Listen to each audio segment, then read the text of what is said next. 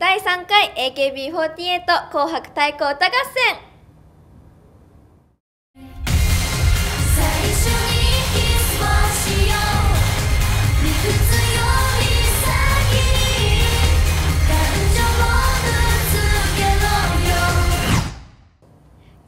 をご覧の皆さん友永美代です。4月9日に第3回 AKB48 紅白太鼓歌合戦ブルーレイと DVD が発売となります。はい、えっと、私は第3回 AKB48 紅白太鼓歌合戦に出場させていただいたんですけど2回目ですごい緊張したんですけど皆さんと一緒に盛り上がれてとても楽しかったです。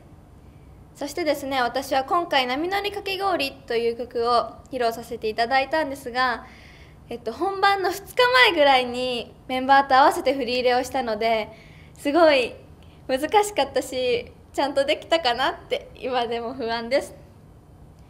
私友永美桜にとっての AKB48 紅白太鼓歌歌合戦とはそうですね。AKB48 グループとしての最後の何？年最後のイベント。皆さんぜひチェックしてみてください。